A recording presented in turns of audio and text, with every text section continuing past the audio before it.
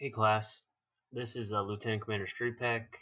I hope your studies are going well. I am doing this video uh, in a series of videos to help you guys uh, reinforce some of the subject material in uh, NIFE Nav class.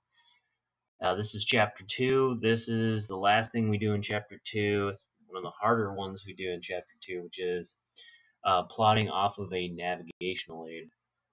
Navigational aids are used um, to navigate, right? And you're uh, going to be looking at the information it gives in the plane. Um, so to keep that in mind, um, we know that everything that's referenced in the plane is a magnetic.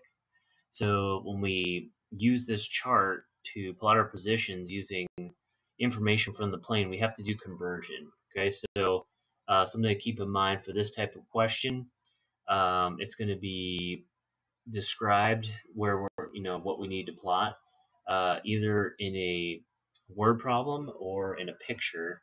Okay, so if you see a word problem, you're always going to be looking for radials and DMEs. So here's here's one. This is the Leona uh, Vortac at 090 degrees magnetic, 42 nautical miles away. Okay, so what is this down here? Well, this is the conversion, right? So uh, if I get this number, I have to convert it uh, using um, the varia magnetic variation. Where do I find that?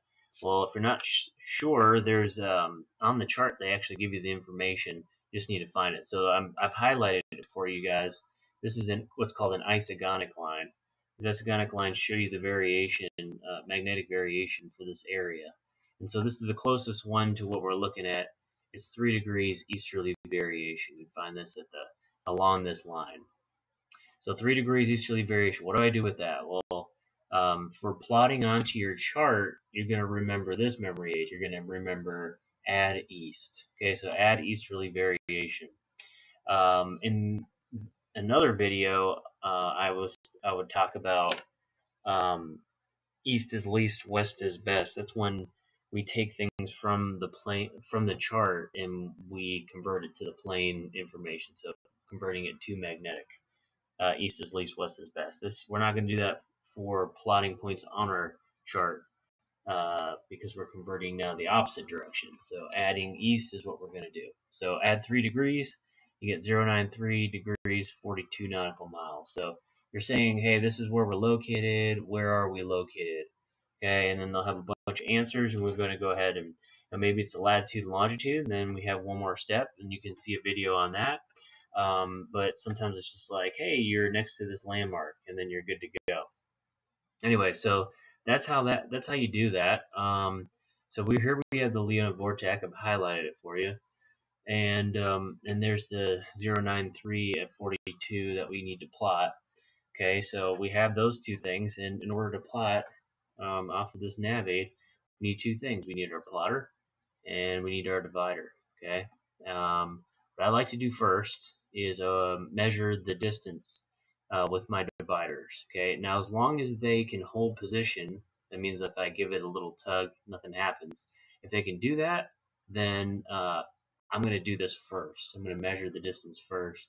If it cannot hold its position, if it's loose, um, then I won't do it first because I don't want it to move around and then I have to redo it. So just making less work for me is, is the name of the game. So anyway, I'm going to go ahead and um, put my first point down and, uh, and measure 42 nautical miles. So the first thing I'll do, go over one of these reference lines. And 42 is right there. Okay. So I got my 42. Now I take one of the points I stick it on Leona Vortac, okay? And that just gives me that reference point.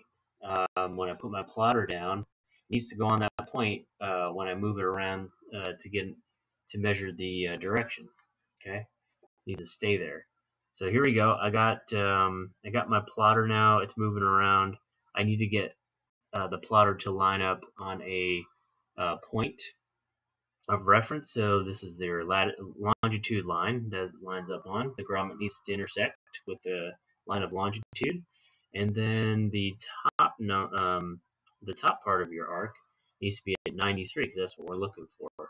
So 93 um, closer to like 89. So now I'm at 91. There's 93 at the top. Look down at the bottom, my grommets still not lined up. So now I found my intersection. I look now I'm closer to 94, so now I have to shimmy it a little bit. There you go, there's 93 here. And it's lined up on the intersection. Cool. So now I have my uh, point, and what you can do also if you don't want to just throw your divider down. So like say you have a loose divider, you could always just like hold your plotter down and use your pencil and draw the line there. And there's nothing wrong with that. You can just you can go ahead and you know draw your line. Or say you did bump into your divider and you're like, oh man, am I gonna start over again? No, you don't have to start over again. Just take your pencil, draw your straight uh, straight edge, straight line along the straight edge, and then measure with your divider and put it down. Okay, so um, anyway, so I have my straight edge, I have my divider, the distance is right, I drop it down, and then I look and see where I'm at.